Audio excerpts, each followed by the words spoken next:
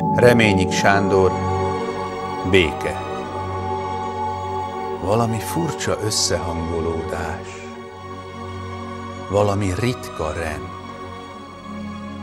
Széthúzó erők erős egyensúlya, mély, belső bizonyosság ideben. Bizonyosság arról, hogy élni jó, szenvedni elkerülhetetlen, szeretni tisztán, megistenülés, meghalni szép.